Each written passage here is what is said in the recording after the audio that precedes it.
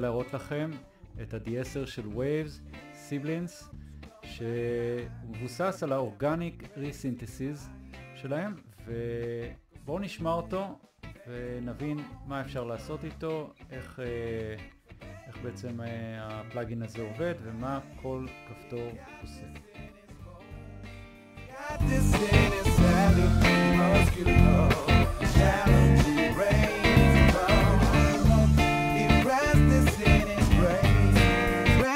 Sin is criminal rendezvous, swing will remain tight. אז uh, קפצתי uh, פה לקורוס ואנחנו בעצם uh, רואים שהפלאגין מזהה כבר אזורים ש... שיש לטפל בהם. והצורה שבה הפלאגין הזה עובד היא שיש לנו קודם כל threshold, אפשר לראות פה את שני הקווים, שני הקווים האלה שנותנים לנו אינדיקציה כמה אה, בעצם יהיה הטווח זיהוי. זה הטווח זיהוי שלנו. הדבר הבא שחשוב לשים לב אליו זה הריינג' כמה dB להוריד וכמה אה, לעשות אה, אה, הנחתה של, ה, של הסאונד. ומה שיכול לעזור לנו זה כמובן המוניטור. אז אנחנו יכולים להקשיב בדיוק למה שאנחנו מורידים.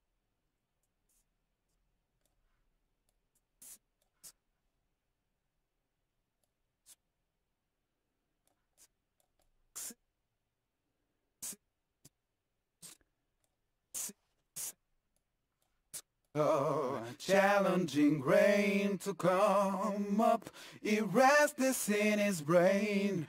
Rest the sin is criminal rendezvous, swing will remain toxic. Okay, אז uh, כמובן חשוב לשים לב כשעובדים עם D10 ובכלל כשמתעסקים ב... Uh, בטיפול uh, בכל מיני פלוסיבס וסמכים ואסים, זה לא, לא, להעלים אותם לגמרי, אחרת uh, יוצא לנו מעין, uh, מעין סאונד מאוד סינתטי ושממש לא נשמע טבעי.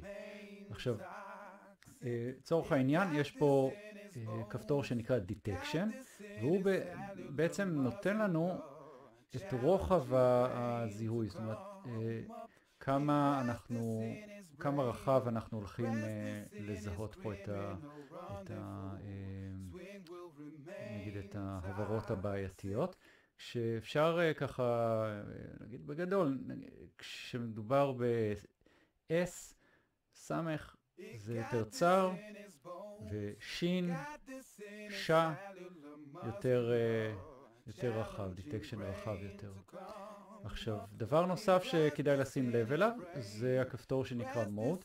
יש לנו שני מצבי אה, קומפרסיה, wide ו split, כאשר אה, ככל שהולכים לכיוון ה-wide אנחנו אה, עובדים על המרחב תדרים השלם, מתקרבים יותר ל split, אנחנו בעצם אה, ב-100% ספליט אנחנו אה, עובדים רק על 4K ומעלה, אז אה, חשוב לשים לב לזה.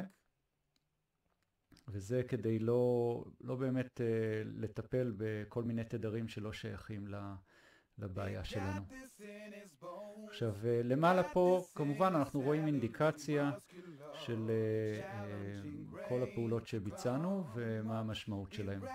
אם אני אקח את הריינג' הזה עד הסוף לאפס, אנחנו נראה את הקו הצהוב פה ממש אה, מיושר, זאת אומרת אנחנו אמנם עושים זיהוי אבל אנחנו לא עושים שום טיפול. ככל שאני אקח את הריינג' הזה יותר למטה, אנחנו נראה שהפלאגין עושה את העבודה בעוצמה. It got this in his bones, got this in his...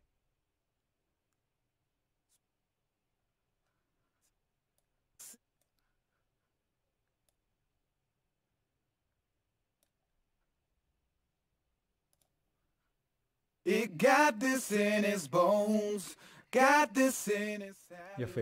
דבר אחרון ש, uh, שיש פה זה look ahead. נותן לנו למעשה uh, איזשהו מבט קדימה, טיפול יותר, יותר יסודי, והוא, אבל הוא מכניס לנו איזשהו latency של 12 מיליסקנד, אז גם כדאי לשים לב.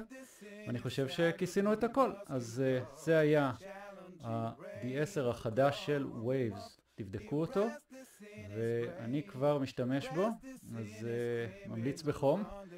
תשאירו תגובות, uh, תשאלו שאלות ותמשיכו uh, לעקוב אחריי בסרטונים נוספים.